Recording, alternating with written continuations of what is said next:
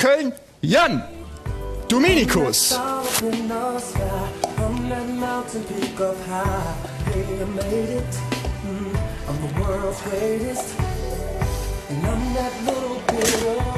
Ich mache erstmal ein Säckchen für uns auf, ne? Ja, erstmal deine Krone. Ja gut, ein, ein bisschen Triumph will ich euch auch gönnen mit der Krone. So. Die passt nicht, die Krone. Ja, doch, die passt, das geht schon. Sitzt wie angegossen. Ah, wie war die letzte Woche so für dich im Siegesrausch? Kannst du dich noch an was erinnern? Ich oder? habe ich hab die ersten drei Tage fast gar nicht geschlafen. Ja. Und eigentlich mit meiner, ähm, mit meiner Crew, mit der ich mich vorbereitet hatte, auch das Finale durchgefeiert. Wir haben dann die Korken knallen lassen. Und ähm, ja, so langsam komme ich wieder in die, kehre ich wieder in die Realität Also, zurück. es- ich habe ja eine Frage, die mir wirklich seit dem Finale auf der Zunge brennt. Ähm, wie geht's eigentlich dem Fuß? Geht es wieder besser jetzt, ja? Es war ja in erster Linie die Schulter, Ach ja, die ein stimmt. bisschen Ja. angeschlagen war.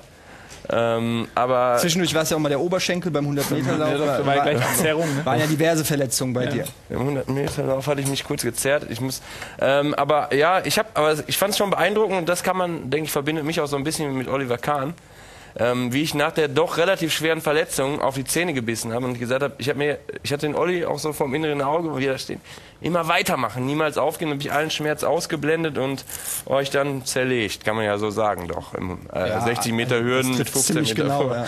Das war-. War schon nicht schlecht. Also insgesamt muss man sagen, haben mir äh, viele Leute auf der Straße gesagt, äh, grandiose Leistung von dir. Also mir haben sehr viele auf die Schulter geklopft. Äh, Auf die Schulter? gesagt, Oh, das war bestimmt schmerzhaft. Ne? an die andere, Gott sei Dank. Ne? Und haben gesagt, ähm, sehr gut von dir, aber was für eine erbärmliche Performance von den beiden anderen. Ne? Also sowas hat man selten gesehen. Ähm, Ja. bisschen erniedrigend war das, denke ich. Ja, das, ja, das war's dann eigentlich jetzt auch schon. ähm, ähm, viele, viele glauben ja, dass das äh, alles gefaked war. Sag doch auch mal was dazu. ja. Also tatsächlich finde jetzt pass auf, einmal kurz Vorsicht, ne? Vor ja, was? Mach. denn da? Bleib doch ruhig. Mach doch! Da ist er doch schon. ey. Ähm, tatsächlich muss ich ganz ehrlich sagen, ich schütte schütt mir mal als erstes ein. Na, als na klar. ähm, tatsächlich muss ich sagen, dass Das wird nix. Man den Eindruck ja gewinnen konnte, ne? weil es war ja wirklich so. Jetzt mal ganz im Ernst. Ne? Jetzt mal unter uns, wir sind ja unter uns. Ganz im Ernst. Am Anfang beim Bowling war ja auch so letzter Pin. Ich glaube, danach hatten wir Kartfahren. Das war auch sehr eng. Von, ah gut, das Karten war nicht so eng. Fußball war sehr eng. Da habe ich ein Comeback gemacht. Beim Basketball wurde ich total Was hast du zerlegt. gerade gesagt? Beim Fußball hast du ein Comeback gemacht. Ja, da lag ich ja auch schon 2-1 hinten. Ja, und hast du dir gedacht, lass ich mal die Hürden aus. Ja, das ähm, war Tatsachenentscheidung. Fernsehbeweis habt ihr ja hinterher versucht, noch dazu zu ziehen, aber äh, Dr. Ja. Volker Roth, der Schiedsrichter Obmann, hat ja gesagt, zählt. Ne? Ja. Ähm, also es war überall sehr knapp und das Highlight war ja zum Schluss, aber ich habe auch, muss ich sagen, die ganze Zeit an Sieg geglaubt und ich kann ähm, hundertprozentig ver versichern, dass ihr alles gegeben habt. Da war nicht sehr viel, aber ihr habt uns zumindest versucht. Ja, Wir haben ja die, äh, also die Zuschauer haben äh, unabhängig davon auch eine eigene Top 5 heute gemacht. Und zwar die äh, Top 5 der, der fünf größten äh, Sportbetrügereien der Geschichte. Auf Platz 3 war, glaube ich, äh, Maradona, Hand Gottes. Platz 2 war, glaube ich, die Schwalbe von Andreas Möller ne, gegen Stimmt, Karlsruhe. damals, ja. Und du warst auf Platz 1. Hat mich überrascht. Ja, die Meinungen gehen ja tatsächlich bei uns im Blog auf der Seite und so gehen relativ erstmal Prost, ne? Gehen ja auseinander. Ähm, ich denke, der größte, was man wirklich sagen muss, der größte Fehler war, dass wir einfach nicht weitergelaufen sind, als du äh, am Boden gewinselt hast. Das muss man vielleicht auch mal sagen, weil das in der Matz nicht so rüberkam. Viele haben sich gefragt, warum sind wir nicht weitergelaufen, ja? Das kam im Einspieler nicht so rüber. Der Jan, als er auf die Fresse gefallen ist beim Hürdenlauf, lag am Boden. Das hat mich erinnert an die Szene von Saving Private Ryan am Anfang, als der eine Typ seinen Arm sucht. Ja?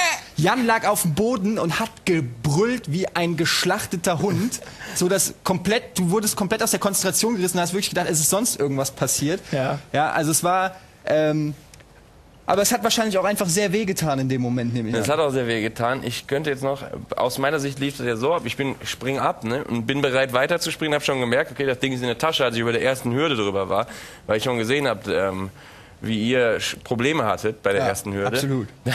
Dann bin ich drüber. Du konntest das gut sehen, weil wir schon eine Hürde weiter waren. dann, dann habe ich so ein bisschen den, den Halt verloren, bin gestürzt und habe gesehen, scheiße, ich weiß nicht, ob wir jetzt Wiederholung machen. Im Sturz habe ich mir jetzt schon gedacht, ich roll mich mal rüber in die andere Bahn, damit wir nochmal wiederholen müssen. Ja, wir, viele, viele Leute fragen sich ja, äh, was ist denn jetzt eigentlich die Strafe? Und wir haben wirklich lange überlegt. Ähm, Viele was- was Ideen, macht da, waren, Viele so, Ideen, da ja. waren ganz viele Vorschläge, so auch so körperliche Verstümmelungen und so. Färbt euch die Haare, rasiert euch die Haare ab, irgendwie äh, zupft euch äh, die äh, Bauchhaare oder verstaucht euch den Fuß. Ganz viele Sachen, die körperlich wehtun. Aber wir haben uns überlegt, äh, das ist dann ja in zwei Wochen wieder weg.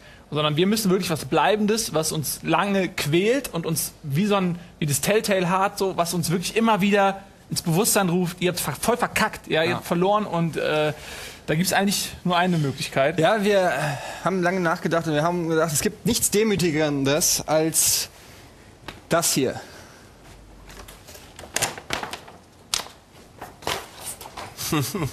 Schön, ich bin ganz gut getroffen. Außerdem äh, etwas, ich weiß gar nicht, wie das Fremdwort ist, aber das Grinsen gefällt mir nicht so gut. Aber ansonsten sieht gut aus, finde ich. Ja, wir haben uns überlegt, ähm, da, war, da hing ja früher Chuck Norris und ähm, sagen, das es ist ja schon eine ziemliche Ehre für dich. Wir, wir hatten eigentlich geplant, als nächstes den Ultimate Warrior da aufzuhängen. Der hat jetzt Pech gehabt. Ne? Ja. Guck mal, wie der sich ärgert so. Der ist schon richtig in Ultimate Rage. Warrior ist richtig sauer. Könnte übrigens Ähm, sein, dass der kommt und dich verprügelt. Ja, ich denke, als Titan habe ich da durchaus äh, das Recht, da zu hängen und kann es jetzt auch mit dem neuen Titel und mit dem Ultimate Warrior aufnehmen. Das Einzige, was mich ein bisschen freut, ist das die debile Lächeln. Das tröstet mich so ein bisschen darüber hinweg. Das, aber ansonsten Das ähm, verfolgt mich schon seit Jahren. widmen wir dir einen Teil unserer Wand und du weißt ja, wie teuer hier dieses Fernsehstudio ist.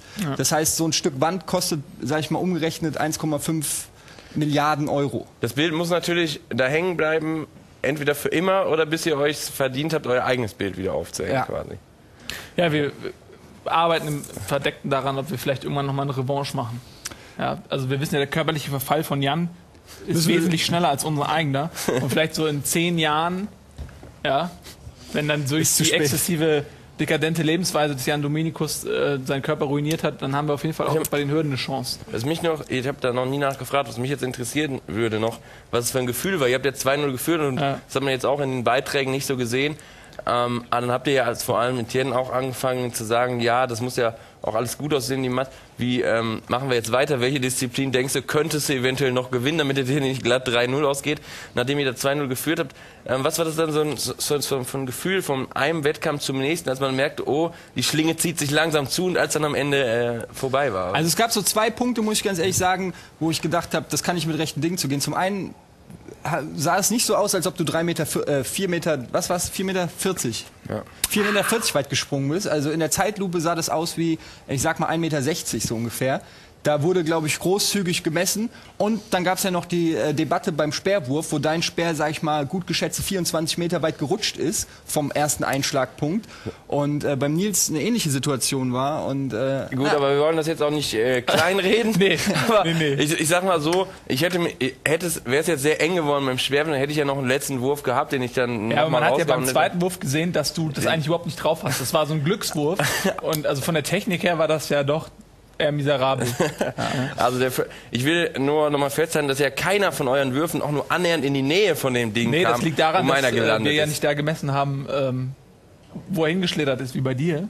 Ja, sei, selbst wenn wir bei mir beim aufkommt, Aufschlagpunkt gemessen hätten, da wäre er ja noch nicht mal im 10 Meter Radius gewesen. ja, Ja, das stimmt. Also ich finde, wir sollten da jetzt nicht weiter drüber diskutieren. Wir äh, akzeptieren Ah. die Niederlage. Nee. Aber man sieht sich immer zweimal im Leben, Jan. Du weißt Bescheid. Eines Tages äh, wird es noch mal Rache geben. Jetzt sind ja einige Sportler schon an, an großen Niederlagen wirklich zu Alkoholikern geworden. Ne? Ja, sowas, Aber ich kann, glaub, sowas, sowas, kann, sowas, sowas wird uns niemals passieren, ganz ehrlich. Also, haben oder was? wir schauen uns jetzt erstmal äh, Musikvideo an. Und zwar sind wir gerade dabei, wir haben ein Label gegründet, äh, Ghetto Night Productions. Und ähm, Wir haben schon eine Art, wir haben schon einen Künstler, also wirklich. ist- was?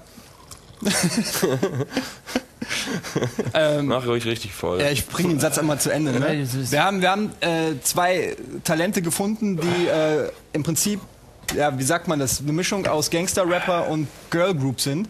Und das ist, glaube ich, die neue Marktlücke. Und die haben jetzt ein Musikvideo gedreht und das schauen wir uns jetzt mal an. Hier sind die Ghetto Nights mit ihrem neuesten Song. Viel Spaß.